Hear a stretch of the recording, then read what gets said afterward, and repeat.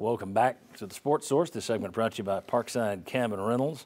You can't beat one of their terrific layouts and locations. Visit them online and look up Chestnut Lodge, for example. All of their different uh, cabins up there have different names. Check Chestnut Lodge, four bedrooms, just a short walk from right there on the strip in Gatlinburg, right downtown.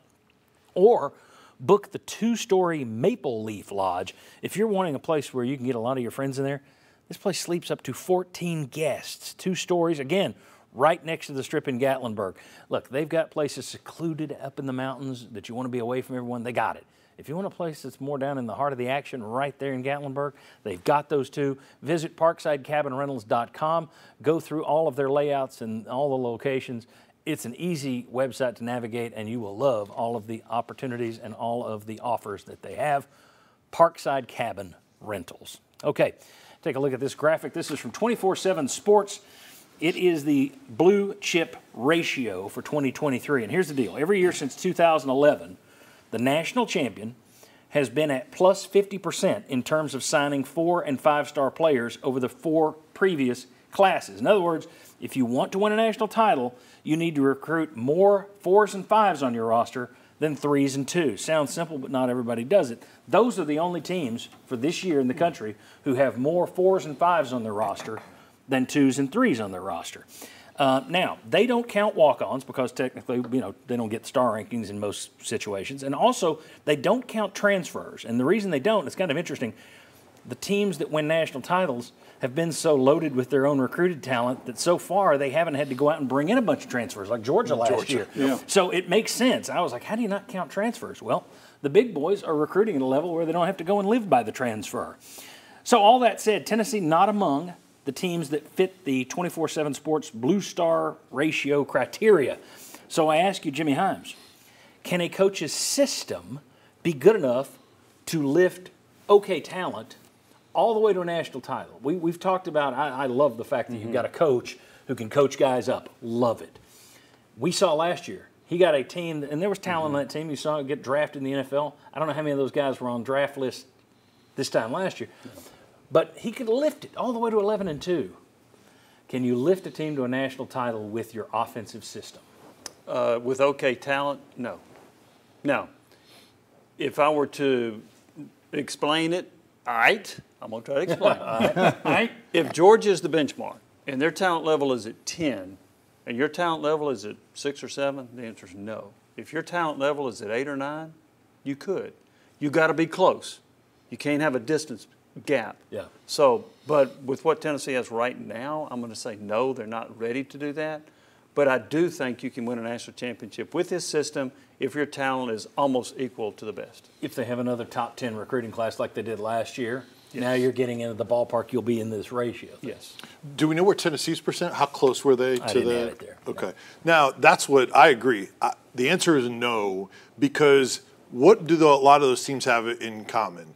They won the national championship, especially as of late, with an elite quarterback, a big time offense, and dudes on defense, four and five star guys to get you stops when you need it. Not playmakers. necessarily, yeah.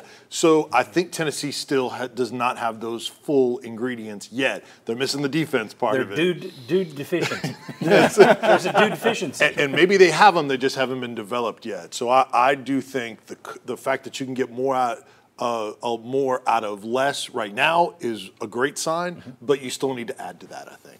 And I will go along with, with that part of it to why Tennessee, it would be harder for them to win a national championship with a system. Because when you've got those superior athletes like Georgia did on defense, that system doesn't work as well because these guys are just good enough. Hey, do your thing, we'll take care of what they do.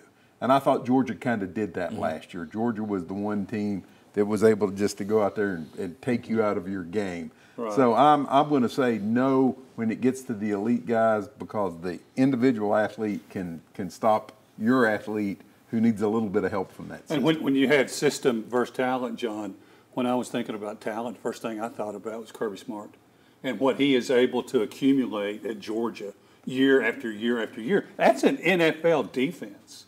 You're asking a lot for your system to overcome NFL talent on defense. And we saw last year what Tennessee have like six points until midway through the fourth quarter, and uh, Hendon Hooker had been sacked six times. It wasn't a fair Well, and, and look at TCU.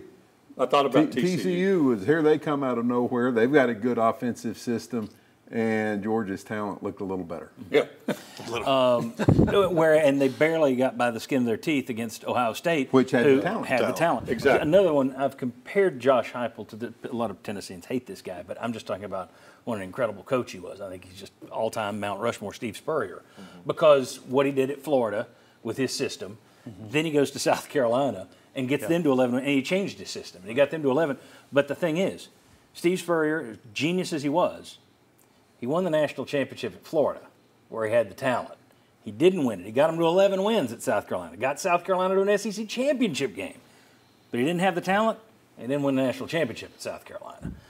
So I think that's that's where the proof's in the pudding. I mean, here's the deal: that blue char, that blue chip ratio thing has held up every year since 2011. So that's 11 straight championships going into this year. At some point, you got to say, okay, this matters. Yeah. This means something. So There's a ceiling. yeah, there's a ceiling, and it, it's going to take at least one more recruiting class where you're in the top ten to probably get Tennessee into the bottom of that list, and then you're then you're in the mix. All right, very good, interesting stuff. When we come back, everyone was talking about the Big Ten this week and the long distances their teams will have to travel. But have you looked at Tennessee's future uh, road trips when you throw Oklahoma and Texas into the mix? I figured Oklahoma would be the longest road trip. Austin, Texas is the longest road trip. We'll take a look at what the SEC is getting itself into, and does it mean fewer fans travel around the conference in the future? We'll debate. Come on back on the Sports Source.